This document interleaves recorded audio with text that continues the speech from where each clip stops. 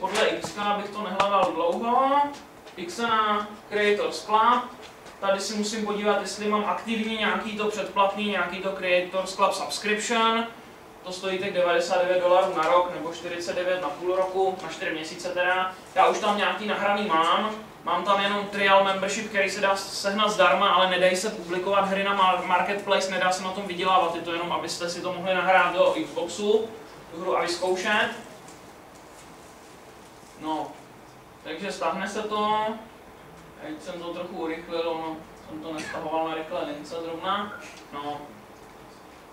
Takže teď se vrátím zase zpátky. Tady ještě jsou tady, když si dám to Game Marketplace, tak tady mám Indie Games a to jsou ty hry, které vývojáři napsali fixenáčku a publikovali na ten Marketplace. Tady jsou nějaký takový ty nejstahovanější, nejoblíbenější tituly. E, jo. Takže dá se tam i hledat podle nějakého ratingu, dá se to hodnotit. Třeba teď nedávno jsem hrál hru Avatar Golf, moc pěkný, je to krásný golf, pěkný golfový hřiště tam mají a hrajete tam s těma avatarama z toho Xboxu, když tam naklikáte vlastní postavičku a oni pak dají v té hře do ruky Google a ona tam takhle mává, pálí ty míčky. Tak, takže Indie Games, už, se, už tam byla nainstalovaná ta aplikace, teď to musím propojit s Visual Studiem, takže já spustím tu XNA Game Studio Connect na Xboxu, ono mě to vygeneruje nějaký klíč a já se přepnu do Visual Studia, tady si nakliknu, jo, mám projekt pro Windows, ten, co jsem tady měl na tom demo. E, tady jsem si řekl, že vytvořit kopii pro Xbox, úplně stejný kód, úplně stejný všecko, kopie pro Xbox.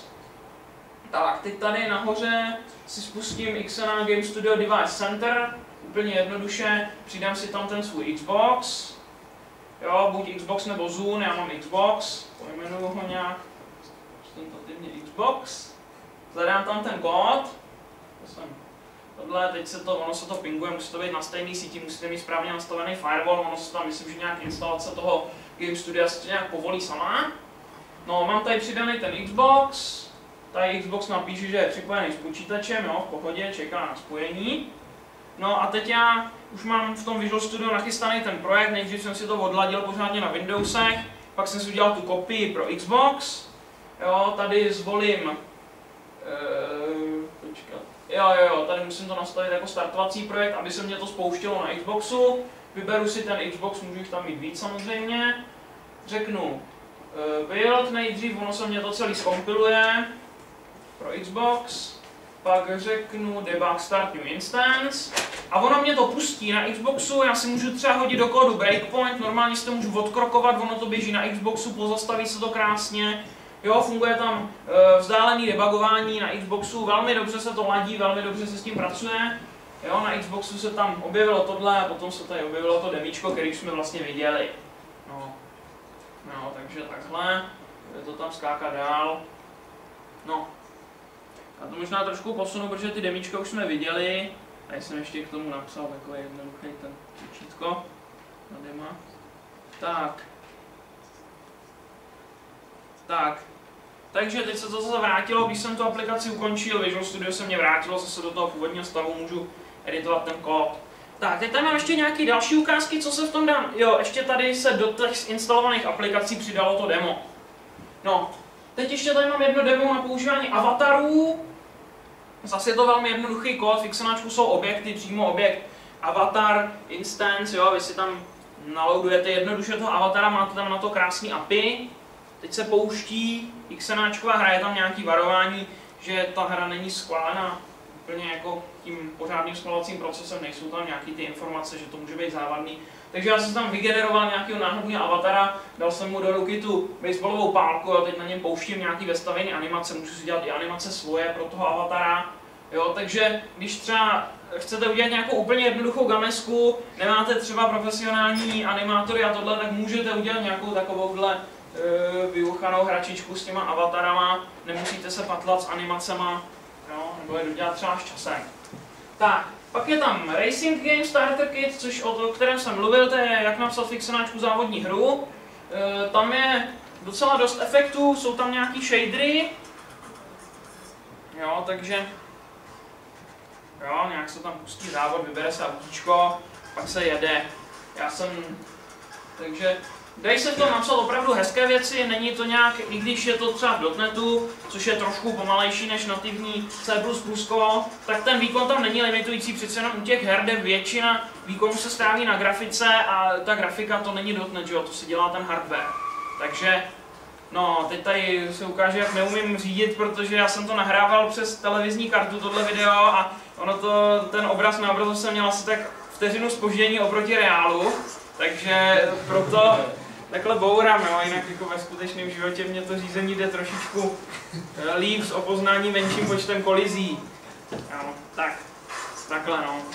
Ale jako dá se v tom napsat velmi pěkný hry, Tohle, když jsem pouštěl na 1920 na 1200 rozlišení prostě na Full HD, tak eh, jelo to nějakých, stíhalo to v pohodě 60 snímků za sekundu, což je obnovovací frekvence monitoru na tomhle notebooku. Já tam teda mám nějakou Nvidia, ale zase jako prostě zvládá to a i jsme to pouštěli na integrovaných grafikách v notebookcích, úplně v těch nejlevnějších a v pohodě. Jo. Ten výkon, eh, je to daný výkonem grafické karty, samozřejmě to XNAčko nijak výrazně nespomaluje. Pak tady mám další demíčko. To je taková aplikace spíš na ukázku, že XNAčko není jenom na hry, i když teda XNAčko je především na hry, ale dá se v tom napsat i něco jiného. Tohle je jeden takový náš projekt, eh, simulace dopravy ve městech. Takže tady se nějak nastaví tohle a máme tam vizualizace toho provozu ve 3D. Používali jsme letecké snímky od Českého zeměměřického úřadu, eh, bylo jich asi 800 mega, což se samozřejmě jako nevejde do paměti najednou, nebo vešlo by se to, ale v době, kdy jsme to psali, tak ještě za stolik té paměti nebylo. Na grafické kartě by se to určitě do paměti nevešlo. Málo kdo má gigovou e, paměť na grafické kartě. A tohle už je právě vizualizace, vidíte, jak se načítá po blocích, protože těch textur bylo opravdu strašně moc. XNAčko to ale v pohodě zvládá, jo? tady jezdí nějaký autíčka, samozřejmě ta grafika je jenom ilustrativní, nedalo by se to použít na nějakou hru, dělali tu grafiku vývojáři. No proto to takhle vypadá. Jo? Neříkám, že teda výváři by neuměli dělat grafiku, třeba se najde někdo, kdo umí i programovat, i dělat dobře grafiku, jo? ale e, takových lidí jako šafrán. Tak, jo, takže jsou tam nějaký animačky, je tam výšková mapa, naplácnou se na to ty letecké snímky, e, takže jako vizualizace těch dopravních situací to stačí. No, tak. No a potom poslední, co se ještě v Eh, dá napsat, co tady můžu ukázat, je hra Robo Empire, to už je hra celkem stará, asi tak no dva a půl roku určitě, se psalo ještě fixonáčku jedničce, to byla, Microsoft dělal soutěž Build the Game a tak tam jsem se zúčastnil s pár lidma, no takže jsme měli takovou hru Robo Empire, kde máte jednoduchá strategie, jestli vám tam vytváří roboti a vy je nějak komandujete, co mají dělat a oni to dělají a eh, takže tady se to dá nějak nastavit, začít hru. No.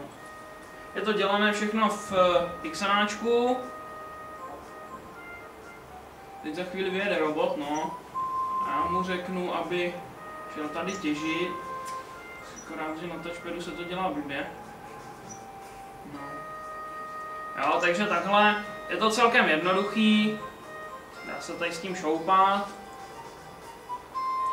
Na to, že ta hra vznikla asi za 14 dní, poslední nejvíc práce se udělalo eh, noc před odevzdáváním, tak jako myslím si, že je to celkem dobrý. Eh, to mixonáčku se vyvíjí velmi pěkně, jako zkoušel jsem si s tím hrát docela dost, jsem v tom něco už napsal a za odpoledne se dá napsat jednoduchá hra. Úplně v pohodě, se vším všudy, s grafikou, s nějakou herní logikou, Jo, dělal jsem nějakou takovou hru Xonix, se to jmenovalo, že tam jezdí pavoučci a ubírají území lítajícím kuličkám, kuličky je nesmí trefit a tak dál. Jo, opravdu za odpoledne jste v tom schopni napsat jednoduchou hru a když se sejde opravdu víc lidí, tak na takové ty malé a střední herní projekty je to velmi dobré. Navíc teda, když se ty hry dají uploadovat na ten marketplace, tak si myslím, že je tam potom celkem zajímavý výdělek z toho, protože eh, v, u nás ten